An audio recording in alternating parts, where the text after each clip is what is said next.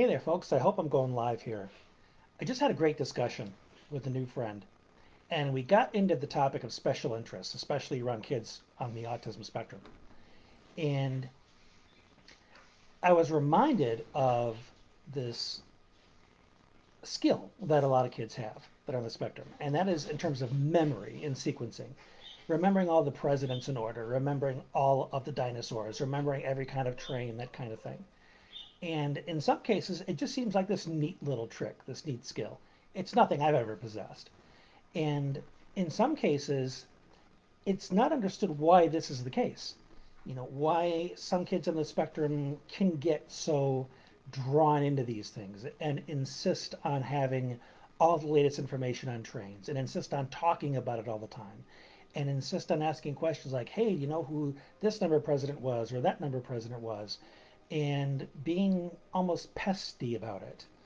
And so I explained to this person why I believed it was the case, why people on the spectrum are obsessed with these things and have these special interests. And it was something this person had never heard before. So I figured, well, maybe I should share this. So, being somebody on the spectrum myself and having kids on the spectrum, this is my understanding of it. Also, as somebody with a social work background, I can offer the psycho- psychological perspective as well. Speaking psychologically, there's something called attachment theory, which is the idea of how we form attachments early on in life with our caregivers. Uh, specifically, there's something referred to as the secure base. You see it with little kids on the playground. They'll, little toddlers, they'll, the mom will be on the, the bench, and then the kid will walk away from mom but then look back to make sure mom is still watching them. To make sure mom still knows that they're okay and mom is there to rescue them if something happens. If mom looks away, then the kid will run back and touch mom's leg to get mom's attention again to make sure that they're still safe. Okay, when it comes to kids on the autism spectrum, they have difficulty making attachments. That's one of the hallmarks of autism difficulty connecting with other people. Well, problem is, we still need a secure base because we're still human beings who need to feel safe and secure in this world. Myself as a baby, my mom told me that I screamed from day one. I was almost impossible to console. She would have to carry me around in some kind of a papoose, whatever they made in those days, to do her house chores. When they went out her and my dad went out on dates or whatever, I'd have to go with. The babysitter would watch my siblings, but I couldn't stay home because I would cry, bloody murder, meltdown the whole time. I couldn't stand to be away. I was not securely attached. So, what you do with kids under those circumstances? What do those kids do? How do they manage? Because if they don't feel securely attached, they don't have that one constant, the go to person they feel like that if the world is chaotic, if there's nothing else they can count on in the world, what's the one thing they can count on? It isn't a person because they haven't securely attached to a person, but they need something that is a constant. What can they count on? Well, there's this whole collection of things called dinosaurs. If I remember them in order, does that order ever change? No. If I remember the species of dinosaurs, does those names ever change? No. How about this list of presidents? Does this sequence ever get different? No, sequence stays the same. Do the order of the names of presidents ever change? Nope, same every single time.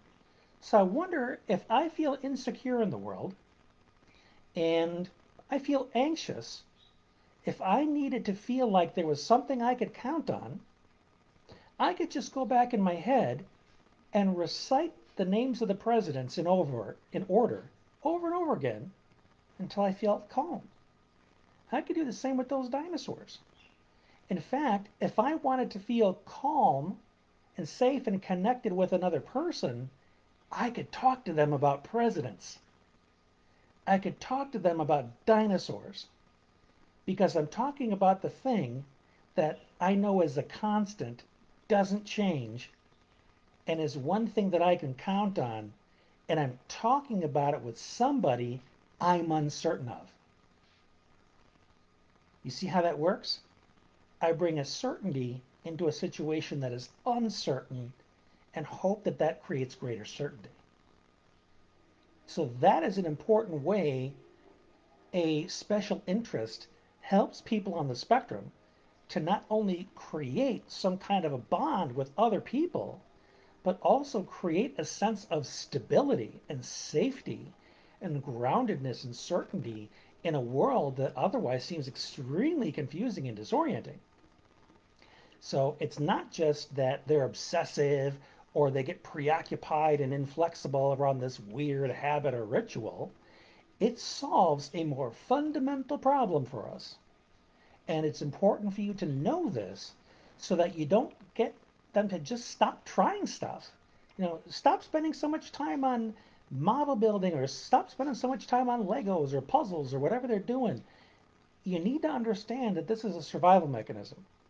This is something that we do in order to maintain our sense of safety within a chaotic universe because we have such difficulty connecting to other people. One way to make these special interests less necessary to obsess over is to help us learn how to connect with other people.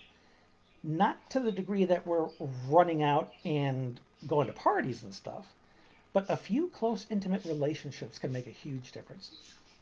And you'll notice that we've bonded and connected with others when we start to prefer them over the special interest. Now, the special interest very well could become something that turns into a career, which is awesome. And we don't want to discourage that. But it's also important to have balance.